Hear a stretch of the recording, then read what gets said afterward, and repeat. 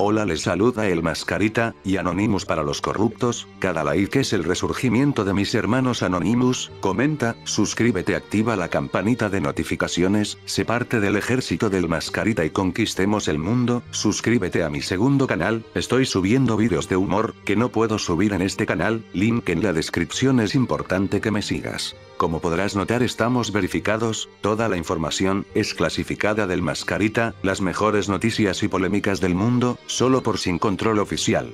Jorge Yoshiyama captó a 24 personas para lavar dólares americanos un millón de Odebrecht para Keiko Fujimori. Jorge Yoshiyama Sasaki no aparece entre los Fujimoristas acusados por el fiscal José Domingo Pérez por el delito de lavado de activos, porque admitió que recurrió a amigos para crear una red de falsos aportantes y así blanquear más mil dólares, tanto en la campaña del 2011 como en la del 2016 y que lo hizo no solo estimulado por su tío carnal, Jaime Yoshiyama, cuando este fue el secretario general de Fuerza Popular, sino también por la amistad que mantenía con Keiko Fujimori. Según la imputación de la fiscalía, Jorge Yoshiyama Sasaki, mediante declaraciones del 12 de noviembre del 2018, 4 de noviembre del 2019 y 10 y 13 de diciembre del mismo año, ha referido a haber captado dinero de procedencia ilícita para las campañas presidencia, de Keiko Fujimori, en 2011 y 2016, a través de su tío Jaime Yoshiyama Tanaka, respecto del dinero ilícito de la empresa Odebrecht, proceden del fondo para sobornos conocido como Caja 2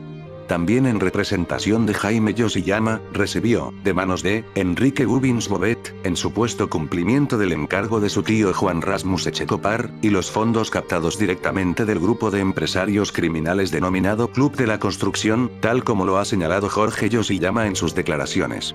Conforme las manifestaciones de Jorge Yoshiyama Sasaki ante la fiscalía, su tío Jaime Yoshiyama Tanaka le entregó 1.173.000 dólares para subvencionar a Keiko Fujimori. Justamente, los empresarios brasileños de Odebrecht admitieron haber suministrado ilegalmente un millón de dólares a Keiko Fujimori, por intermedio de Jaime Yoshiyama y Augusto Bedoya Kamere. Jorge Yoshiyama precisó que el dinero que le entregó en efectivo su tío Jaime Yoshiyama, en 2011, lo repartió entre 24 personas de confianza, algunas de las cuales a su vez buscaron a otros ciudadanos para efectuar falsos aportes, ver infografía. Jorge Yoshiyama describió cómo repartió el dinero en tres grupos de personas y las identificó a todas. A. El primer grupo compuesto por personas a las que directamente les pedí como favor para que figuren como falsos aportantes, Moritani, Luna Frisancho, Luna Venero, Dávila, Dextre Chirinos, Dextre Cuaresma, Ganosa, Rodríguez, Osorio, Bragagnini, Sedano, Kutsuma. B. El segundo grupo que conseguí como falsos aportantes lo hice a través de la persona de Eric Mato Monje, Ángeles, Castro, Jo, Eric Mato, Enrique Mato, Mauro Mato, Monje, Guayas, Petruxelli, Lizárraga, Schreiber, Meneses. C. Un tercer grupo de falsos aportantes que conseguí como falsos aportantes fue a través de Giancarlo Bertini Vivanco. En efecto, para este grupo Jaime Yoshiyama entregó a Jorge Yoshiyama 480 mil dólares, quien seguidamente transfirió a Giancarlo Bertini. Jorge Yoshiyama mencionó hasta nueve falsos aportantes de este grupo, pero no estaba al tanto del monto que recibieron como falsos aportantes, por eso no aparecen en el cuadro adjunto. Hon Lim Lee, la esposa coreana de Jorge Yoshiyama, para quien el fiscal ha sobreseído el caso porque ha confesado su participación en los hechos su cónyuge la engañó sobre los aportes simulados, indicó que fue por la amistad que la pareja tenía con Keiko Fujimori que decidieron apoyarla. En esa época teníamos una relación amical con Keiko Fujimori.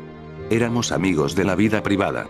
Yo no tenía conocimiento de que el tío de mi esposo le había pedido buscar falsos aportantes.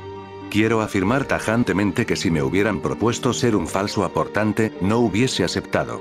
A instancias de Keiko Fujimori, en la campaña del 2016, Jorge Yoshiyama repitió el procedimiento del 2011 para lavar, en esta ocasión, 381.950 dólares siendo amigo de Keiko Fujimori, me pide buscar falsos aportantes indicándome que coordine con, la tesorera, Adriana Tarazona Martínez para que me entregue el dinero que depositaría, por intermedio de los falsos aportantes, a cuenta de Fuerza Popular, dijo Jorge Yoshiyama. Para el abogado de Jaime Yoshiyama, Humberto Abanto, Jorge Yoshiyama debe acreditar que lavó dinero de Odebrecht. De hecho, la defensa de Jaime Yoshiyama ha pedido invalidar las declaraciones de Marcelo Odebrecht, Jorge Barata y otros exfuncionarios de la constructora brasileña. Jorge Yoshiyama debe probar que su tío Jaime Yoshiyama le dijo que era dinero de Odebrecht. Si Jorge Yoshiyama tiene las pruebas, que las presente. Inevitablemente estará sentado en el estrado de los testigos e inevitablemente será contrainterrogado. Entonces veremos cuán sólida es su versión, explicó Humberto Abanto. En el juicio oral se presentará la oportunidad para que Jorge Yoshiyama ratifique si lavó dinero de Odebrecht para Keiko Fujimori. Y Jorge Yoshiyama, quien es investigado por la Fiscalía en el caso Cócteles, reveló recientemente al Ministerio Público que Keiko Fujimori y su tío Jaime Yoshiyama sí sabían de los presuntos aportes de Odebrecht al partido. Otra de las revelaciones que fueron difundidas por el diario La República indica que Keiko Fujimori se contactó con el ex juez César Inostroza para que se declare fundado su recurso de casación. Más testimonios complican la situación de Keiko Fujimori. Jorge Yoshiyama, sobrino del ex jefe de campaña fujimorista en el 2011, Jaime Yoshiyama, brindó nuevas revelaciones a la Fiscalía en el marco de las investigaciones por el caso de presuntos aportes ilícitos a Fuerza Popular. En concreto, Jorge Yoshiyama dio a conocer a la fiscal Elvia Caro que Keiko Fujimori sí sabía del dinero que Odebrecht habría donado a su partido. En la segunda mitad del año 2015 me entero de toda la verdad completa durante una visita familiar. Tanto Jaime Yoshiyama como Keiko Fujimori sabían que sí había dinero donado por la empresa Odebrecht a Fuerza 2011 para la campaña electoral. Por si fuera poco, Jorge Yoshiyama aseguró que Keiko le dijo a su tío que negaran todo respecto a la mencionada donación de Odebrecht. Pero eso no es todo. La transcripción de las declaraciones a las que tuvo acceso la República dan cuenta que Keiko Fujimori habría tomado contacto con el ex juez César Inostroza Pariachi. Cuando el recurso de casación de esta investigación llegó a la Corte Suprema, llegó a la sala de César Inostroza Pariachi.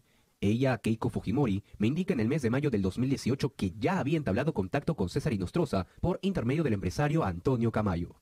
Yoshiyama Sasaki además indicó que Vicente Silva Checa le reconfirmó dos semanas después que no habría problemas en la indagación debido a que César Inostroza y otros magistrados aceptarían la casación. En respuesta, la abogada de Keiko Fujimori, Juliana Loza, criticó que el testimonio no se encuentre anexado en la carpeta fiscal. Una vez más, previo a una decisión que podría definir la libertad de Keiko Fujimori, se inicia una campaña en su contra a través de filtración de documentación reservada. Queda claro que es un nuevo intento desesperado para mantenerla presa. Otra revelación de Jorge Yoshiyama involucra al ex fiscal de la Nación Pedro Chavarri y al expresidente del Congreso Daniel Salaverry. Silva Checa me comentó que Pedro Chavarri y Daniel Salaverry se juntaban de forma sigilosa en sitios diferentes y acordado por terceros, hasta a veces cambiaban de carro para llegar a sus reuniones, para coordinar el apoyo mutuo entre la Fiscalía y Fuerza Popular. Salaverry también respondió vía Twitter mencionando que declaró ante la Fiscalía que no cumplió con dicho encargo porque le parecía incorrecto e ilegal. Añadió que esa fue una de las razones de su renuncia a Fuerza Popular.